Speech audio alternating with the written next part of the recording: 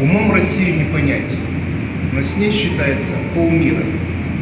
Никто не станет отрицать за нами доблесть, честь и силу.